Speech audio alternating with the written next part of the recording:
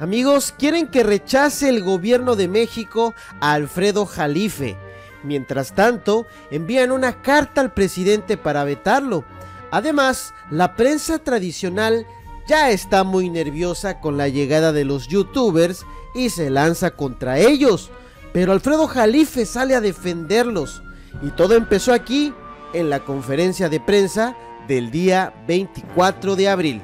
Comenzamos. Bienvenidos amigos a una información más, mi nombre es Jesús Domínguez reportándoles para Estadística Política.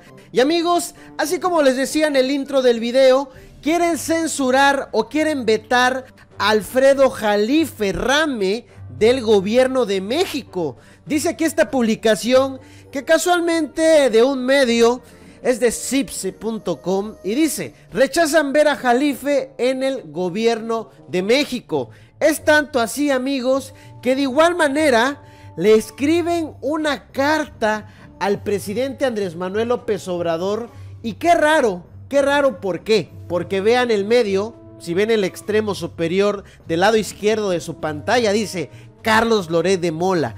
Pero amigos, ¿dónde empieza todo este problema, toda esta bronca que desencadenó sin duda alguna que cada vez que van los youtubers a las conferencias mañaneras, los televisos, la prensa tradicional y la prensa fifi se encarga de atacarnos. Miren amigos, este es el momento donde nace toda esta plática.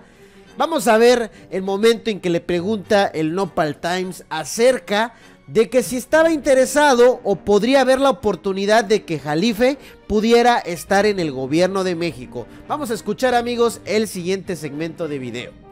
Y finalmente, en relación al maestro Alfredo Jalife, que muchas personas pugnan o solicitan que sea incorporado en su gobierno por ser un excelente analista, un geoestratega, que tiene muchas ideas de cómo podría México transitar a ser un país exitoso. ¿Qué opina usted eh, de esa petición de que sea tomado en cuenta dentro de su gobierno para ocupar algún cargo? Bueno, esa es la pregunta que le lanza Saúl Soltero del Nopal Times al presidente Andrés Manuel López Obrador para ver la oportunidad de que Alfredo Jalife pudiera estar en las filas del gobierno y esta es la respuesta del presidente, amigos. Acerca de lo de eh, Jalife, pues eh, es una muy buena persona, eh, no creo yo que quiera ocupar un cargo, es un analista, un investigador, pero en el caso que hubiese eh, algo que le interesara, como cualquier otro eh, profesional, analista, lo tomaríamos en cuenta. No hay veto para Jalife ni para nadie. Hay muchas discrepancias, eh, este, mm, hay debate, yo lo considero sano. ¿Y por qué dice López Obrador que hay mucha discrepancia y que hay mucho debate? Es que amigos, no todos están de acuerdo en la forma de pensar del doctor Alfredo Jalife Rame. También continúa con la respuesta el presidente Andrés Manuel López Obrador. Hay que cerrarle los ojos. Este, pero tiene que haber esto, con respeto, debate.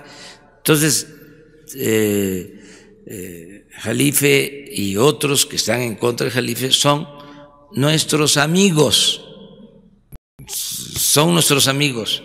No tenemos nosotros este, vetos para, para nadie. Y... Bueno, pues ahí está, lo dice el presidente, no hay veto para nadie. Y ni aún así con toda y su cartita que hizo Carlos Loré de Mola o vaya a saber quién que, que lo presentó en su medio.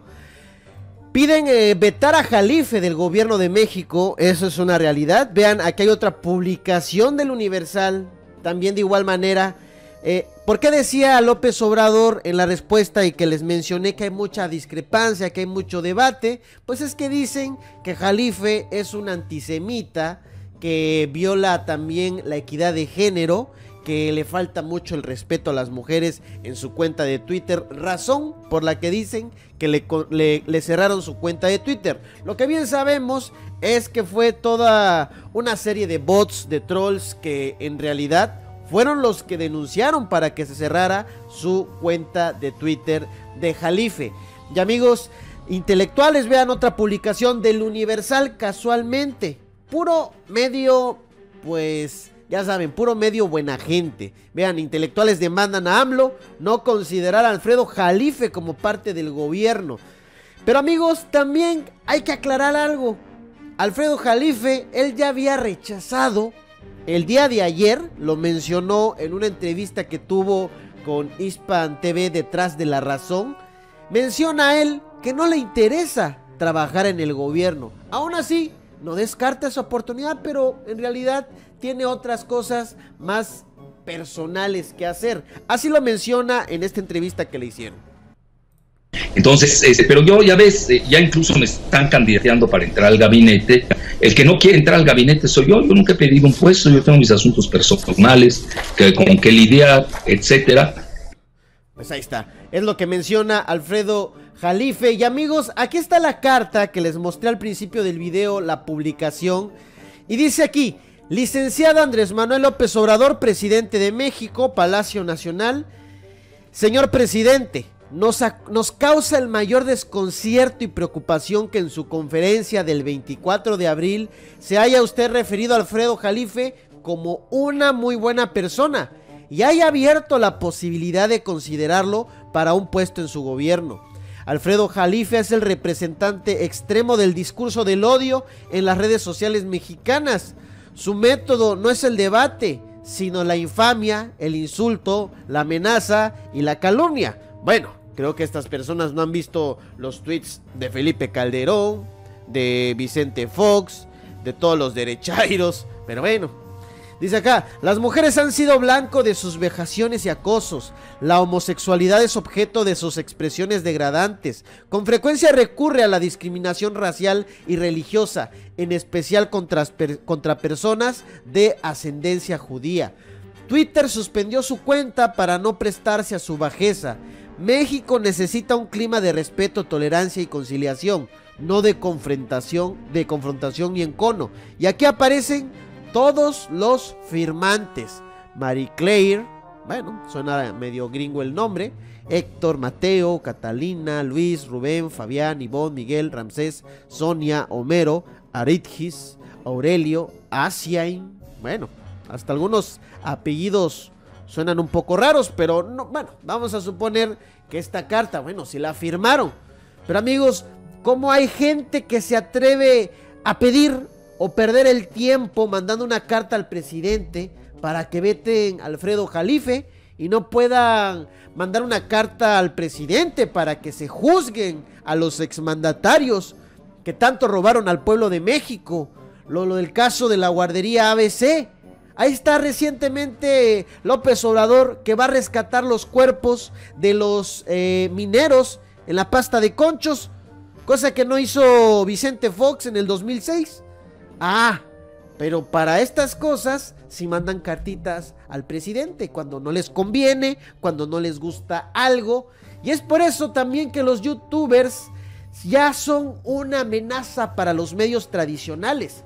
Ya les hice un video al respecto acerca de ello. Es tanto así que Milenio publica con el título, dice, youtubers, el fin de los medios, así en forma de pregunta.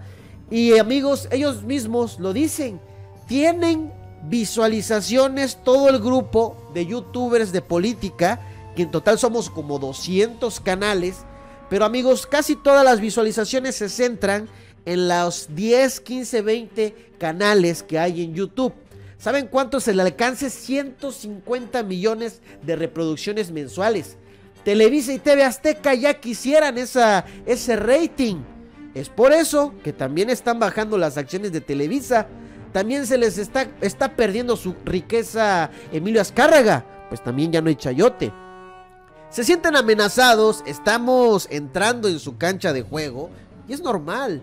Pero pues que sean con una jugada sucia a que sea una jugada de frente limpia, eso no se vale. Luego también salen diciendo cosas que ya somos chayotubers, ¿no? Pero bueno, eso la gente va a decir cosas siempre.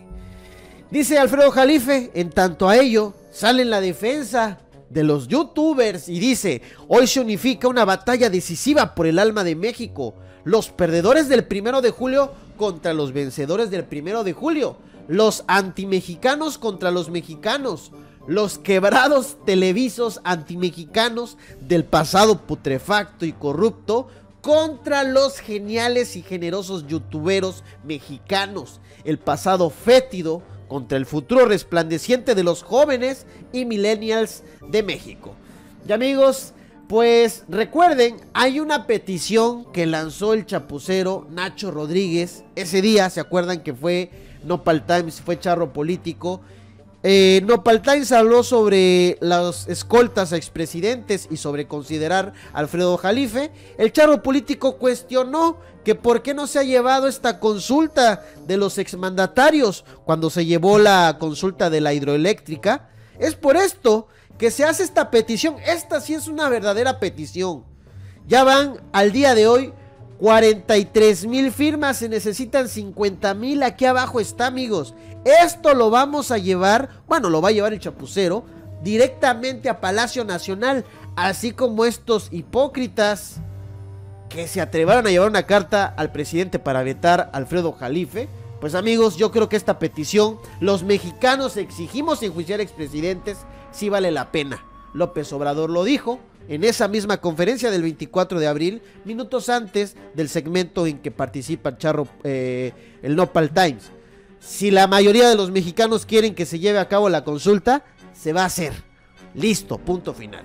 Amigos, dale me gusta a este video, como siempre, más adelante más videos, suscríbete al canal y activa la campanita. A veces no llega la notificación ni te confíes de ello, pero recuerda que este es el compromiso en este canal. Videos nuevos todos los días. Dale me gusta, nos vemos en uno próximo. Y recuerden que los números siempre serán exactos. Y si no, es un fraude. Nos vemos. ¿Quieres apoyar al canal? Ve más videos. Estos son los dos últimos videos que he subido con anterioridad. Nos vemos.